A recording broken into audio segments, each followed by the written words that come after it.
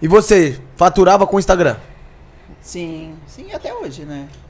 Até hoje. Mas na época, tipo, do, do boom mesmo tal, é, que eu tava, tipo, já mais estourando tal, quando teve as polêmicas do, do Emerson Shake e tudo, meu. Vou te falar que dava pra ganhar uns 300, 500 mil.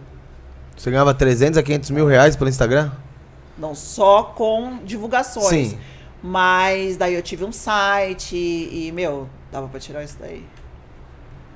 Senhor. Ganhei muito dinheiro. com Qual que é a forma? Vamos. O, É, o, passa o Sheik tem que, tem que falar de mim lá, É, mano. é. E aí, Sheik, já coloca um arroba Rafael André Loreto Hoje em aí, mano. dia, ó, eu vou te falar, dá pra ganhar muito dinheiro com o Instagram? Dá.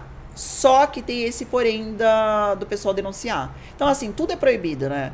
Você fazer uma divulgação de marketing digital é proibido. Você fazer um negócio. Então, assim, você ganha bem pra fazer, mas podem derrubar. Então, podem derrubar sua conta junto. Então, tanto que o pessoal mais famoso, famoso mesmo, nem faz mais dessas coisas. Eles É, tem fecham o perigo de perder, né, meu? É, fecha contrato. Tipo, esses marketing, esses negócios aí que tá pagando pra caralho. Eu vou te falar, isso daí deve tá dando um dinheiro, filho.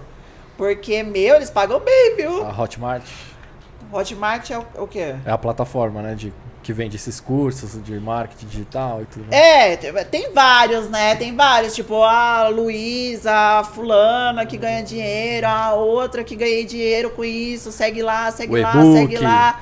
É, mas deve estar dando um dinheiro bom, viu? Porque eles pagam bem. É Mas- isso e aqueles gel, né? Gel pra, pra aumentar pênis, esses negócios. Ah, é? Paga bem também. Sério? Aí já vamos fazer uma propaganda aí pra É, chama a gente aqui. Chama aí, meu. Quem quiser, ó. Estamos É precisando. Hot gel. Tem vários. Máximos, hot gel.